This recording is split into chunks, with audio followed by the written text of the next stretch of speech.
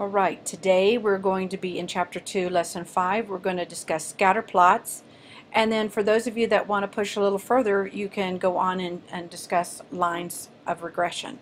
So our, these are our content standards and our mathematical practices. So if you'll pause for just a moment and read those, then move forward when you're ready. So previously um, we wrote linear equations and now we're going to use scatter plots and prediction equations and we're going to model data using lines of regression. We have some new vocabulary, quite a bit, bivariate data.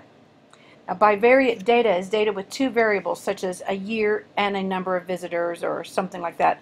It's called bivariate data. Now a set of bivariate data graphed are graphed as ordered pairs in a coordinate plane and is called a scatter plot or a dot plot. A scatter plot can show whether there is a positive, a negative, or no correlation between two variables. So positive, negative. Then there's the line of fit. We'll discuss that today. A prediction equation, a regression line, correlation co coefficient. Let's look at positive and negative correlation. See, it looks like a positive and negative slope, doesn't it? So a positive slope has a positive correlation, a negative slope shows a negative correlation. A strong positive correlation, the slope of the line is positive and the points are close to the line. A weak negative correlation, the slope of the line is negative and the points are not close. See how much further they're scattered away from the line? These are closely grouped around the line. These are scattered. If there's no correlation, it's hard to figure out where to draw that line. There's no obvious pattern of increase or decrease for the given data. So this um, scatter plot is said to have no correlation.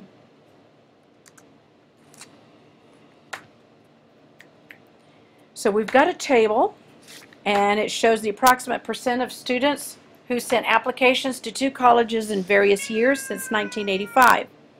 We're to make a scatter plot of the data and draw a line of fit. And we're also just to describe the correlation. So I made a note of the points. It might be handy for you to do that as well before you go any further.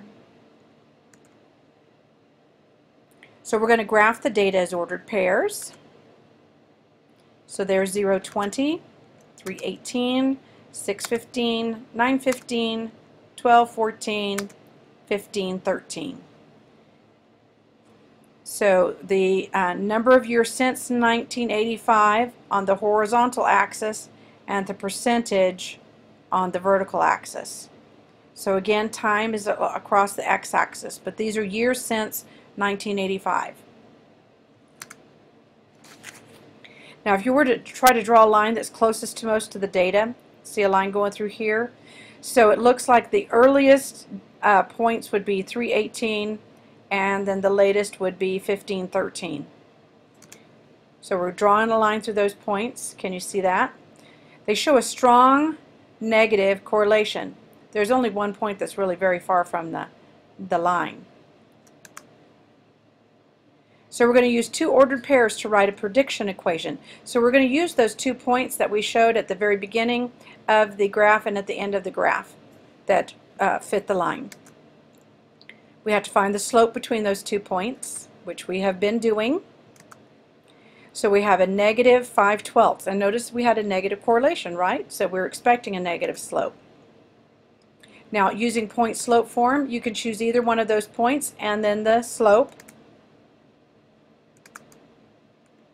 to find this is called the prediction equation. So we can substitute values in for x to predict what's going to happen in y. So we're going to predict the percent of students who will send applications to two colleges in 2010. So 2010 happens to be 25 years after 1985. So when we use the prediction equation to find the value of y, we're going to show that x is 25. So using our prediction equation, substitute in a 25 and simplify. So it's approximately 8.83% is what our model indicates. Now how accurate is this prediction? Well, except for that one point, 615, the line fits the data very well, so the prediction value should be fairly accurate. Okay, time to check your progress. So we're given a table, and it's time for you to to work this. Just find the best line of fit for the data. Which one of these would you say is the best line of fit? So pause the video for a moment and then turn it back on to check your answer.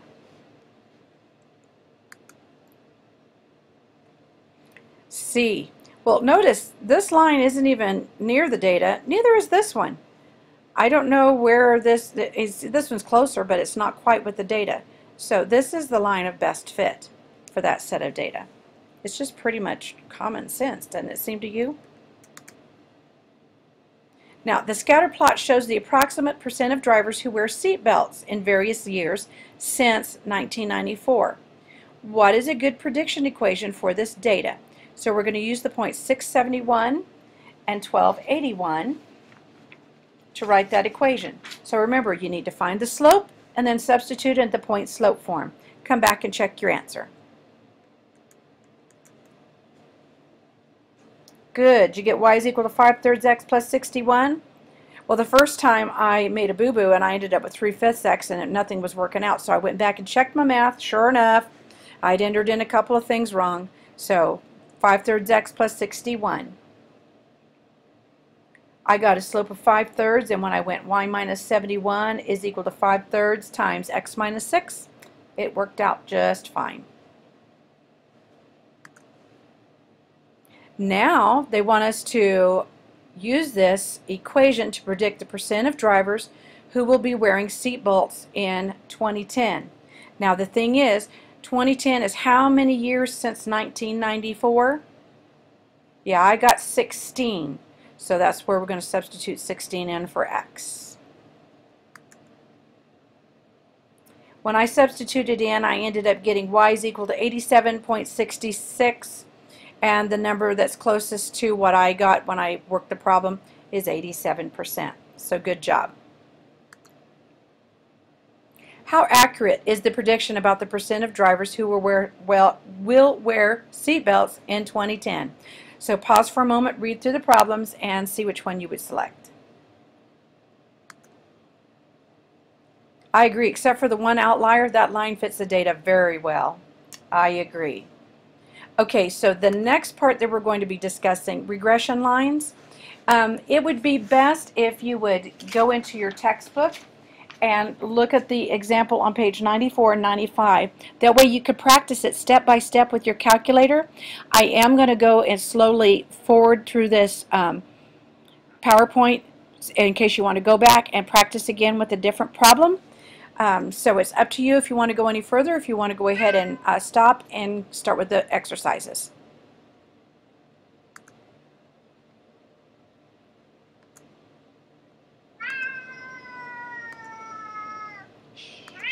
Oh, come here.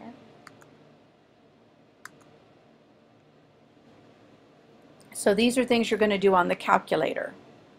Then you graph the regression line. So you're going to go to your Y editor for those of you that have already been graphing. And then you're going to make a prediction using the function that you came up with. So you're going to find y if x is 2015. So according to the function, the median income in 2015 will be about 69,220. And check your progress. Here's another opportunity to uh, use your calculator. And the answer is B. Good job, folks. You are ready to begin the exercises.